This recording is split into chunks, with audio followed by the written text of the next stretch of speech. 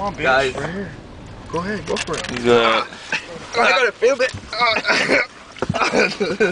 oh, he got a good one. tell the people what you're doing. Raping the Swiss kid. tell them where we found him. We found him on the road. We found him at this um, a rainbow Hotel. a rainbow fucking rest stop. He was jumping out of the back of a Czech diesel.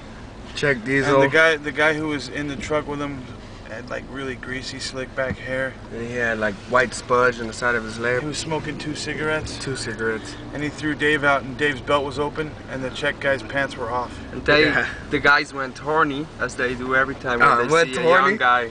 What's With the went? pants Went Went horny. horny. Is They Is it a go horny. Holland?